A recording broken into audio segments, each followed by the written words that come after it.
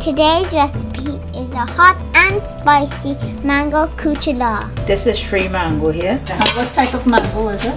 This is um, Julie mango. We take, we taking a chance with Julie because we don't have mango vert or any other mango. But vert is the mango. So we're doing it with Julie to see what, how, what will happen.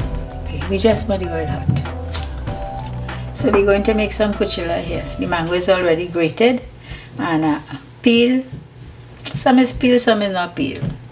And grated and squeeze out all the water, the excess water. This is it here, you can see it. So we grated the mango on this side, okay? Not the small one, this, the bigger one. We did some garlic, like about a head of garlic, a little more than a head, um, a head and a half. So we get that. Did you grate or? I grate. I so it's grate. grated garlic? Yeah, grated garlic. And this is the pepper, grated, eh, but it in chunk. How many?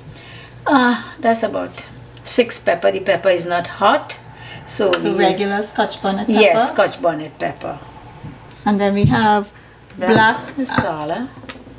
black amchar masala as well as and we're gonna um, put salt to taste. some salt to taste. okay. And that's basically it. And vegetable oil In already a in, pot. the pot. Yes. So, so we check if to see if it well hot. No, it's not ready.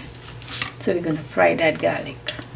Why we frying the garlic is when we mix the kuchela for it not to have the garlic taste. The garlic is overpowering the mango. So that's why I'm, I'm going to fry the garlic a little bit in here. Let me put it here anyway.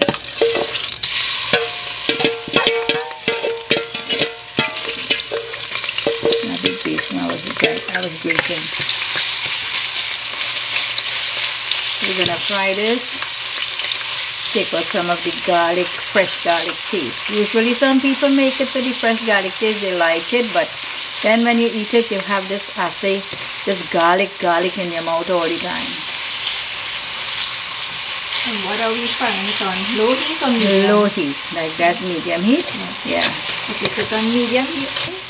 And we're doing it with ordinary cooking oil, what you cook in the pot with. Any kind of oil you can use How many your you use? Like two pot spoons? Two pot spoon.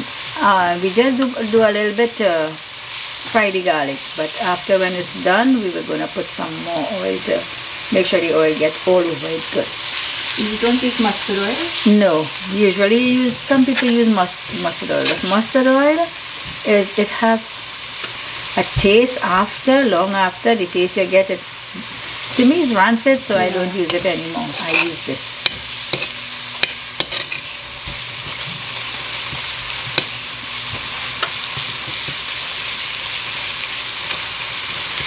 Let fry.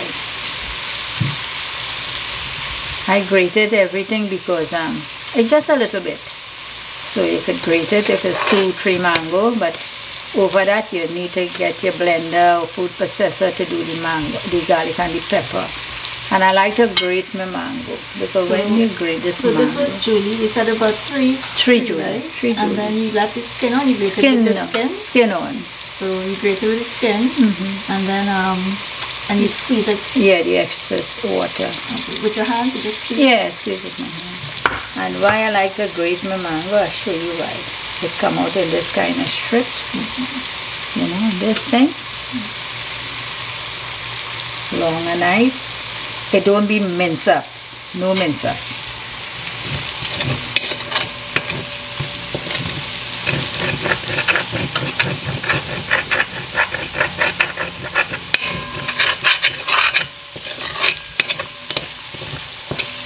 So I am only doing the garlic like this. Nothing else is going to do like this. When the garlic is fried to how I want it, I'm going to turn the stove off and go throw the pepper in.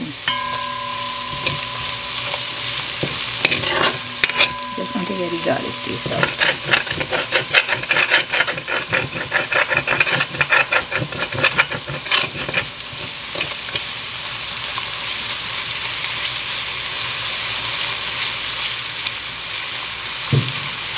So that's not too high. That's higher. No.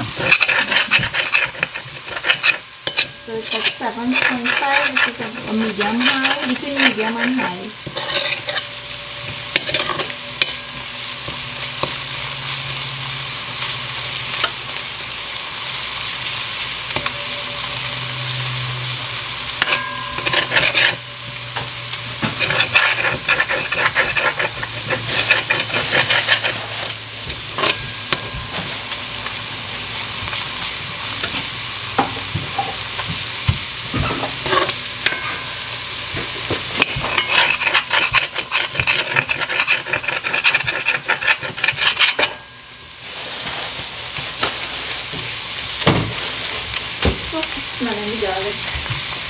And how do you know when it's good? So it's, it's good. I'm going to take the Because it stove. change color. Yeah. Start to getting a little brown. Yeah, we take the stove off. But you don't want it good. No, no, no. So it's fry. You can see it fry. So I'm going to put the pepper in.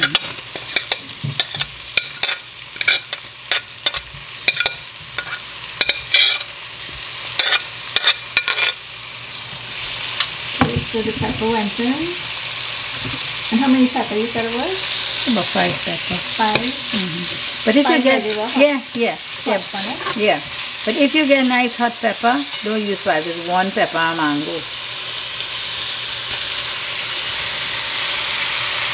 The pepper is not hot.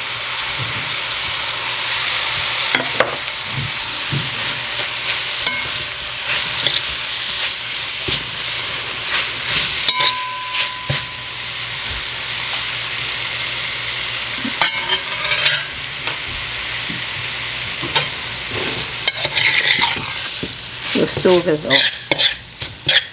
Oh, so you just took the fire off? Yeah. Once you add the mango, you take it off. Yeah. As you know the garlic, you like the garlic, what is going on with it, you have to take it off. Now we're going to put our black masala. But how much masala we put in? Hmm?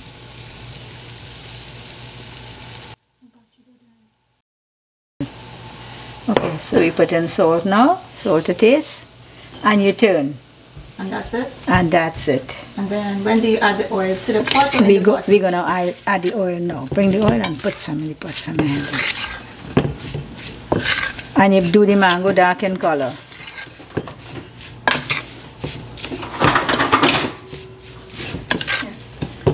I do.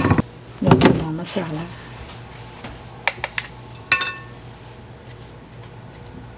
So you just uh, eyeball it Yeah, I eyeball it. so you put it for color, right? Yeah. So, oil going in. Rest of the oil. So that's about half a cup of vegetable oil. Mm-hmm. Mm-hmm. And this is where you have the kuchela. And so now what do we do after this? You bottle We it bottle it. and then you put it. it and you put it in the fridge.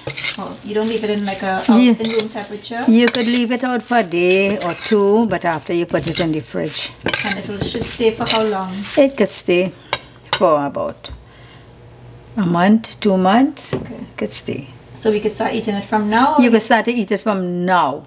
It looks good. Yeah, smells good too. So that's it for the kuchela. So this is the final product. It has enough salt, and this is the color we want. Yes, that's it. Good, Okay. correct color. In New York, say they eat kuchela from all kind of people, but when I send off my kuchela, say they never taste a nice kuchela. Kimberly mother too, she say make kuchela and give she friends. They make from everybody. So once your kuchla is finished, you can put it in a glass bottle. The glass bottle will keep it fresher for longer rather than if you use a plastic bottle. You can leave out for a few days and then refrigerate for a month or two.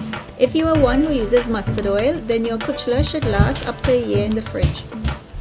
Also, when you're taking out your kuchla, I would recommend that you use a plastic or wooden spoon or fork. This is so that it doesn't spoil the kuchla as fast as if you were using a metal spoon. Kuchla is usually eaten with any type of roti, curry, choka, talkari, and even rice and dal. So I hope you all like this recipe and if you did, please consider subscribing. Thank you for watching. See you guys on the next video. Take care and God bless.